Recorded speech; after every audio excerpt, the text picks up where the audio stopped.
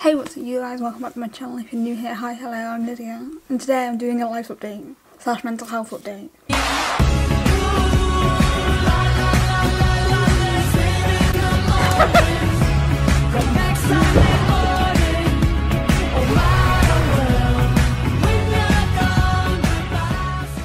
So, I haven't talked about my mental health for the last three months. So let's have an update on what's been going on. But before that, look at how cute these doggies are. They're so cute. I've had so much fun hanging out with doggies this Christmas. My mum has two Shih Tzus and my nan has two Shih Tzus. So we love Shih Tzus. So yeah, a lot has changed last few months. I met a mental health support worker who is lovely. I got to raise concerns I had around my sleep because my sleep has become a big, big issue.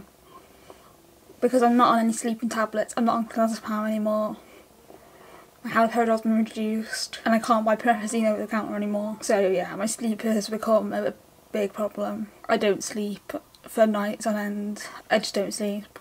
So that's the thing. Clonazepam. Now, we've had a lot of conversations about clonazepam on this channel. We spoke about the benefits it had and how I didn't have a problem taking it, which I don't. I don't have a problem taking benzos. So I don't take clonazepam anymore. I reduced the dose gradually. I went from 3 milligrams a day to no, nothing. And I'm doing okay. My anxiety is a bit up and out of control, but I, I can manage it. My haloperidol dose has been reduced. I was on 10 milligrams and now I'm only on 5. I just only see a psychiatrist once every 3 months. Other than that, my medication is stayed the same. My lithium's at 800 milligrams still. And I've been good. I've been genuinely enjoying life. And I spent Christmas with my family, which has been challenging and hard.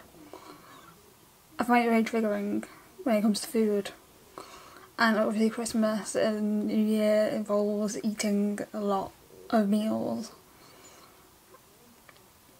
I'm someone that struggles with meals, so I, I snack normally throughout the day when I'm in my own flat. So that's been a challenge, but it's a challenge that I believe I have met with the same for, so that's a bonus. And I've been genuinely happy. Now the trying has kind of died down, it's been peaceful and nice and I'm happy to be alive. But yeah, it's been a good few months and I think that I've done really well. I've been out of hospital since May, which is a huge, huge deal. And that's all I've got for this update. Thank you guys so much for your support and thank you for watching what I've been doing and thank you for bearing with me while I've been on a kind of break while I've been at uni and yeah, just thank you for your support. It's appreciated in more ways than I can explain. Thank you, stay safe, stay strong. Thanks for watching and I'll see you guys in the next video. Peace.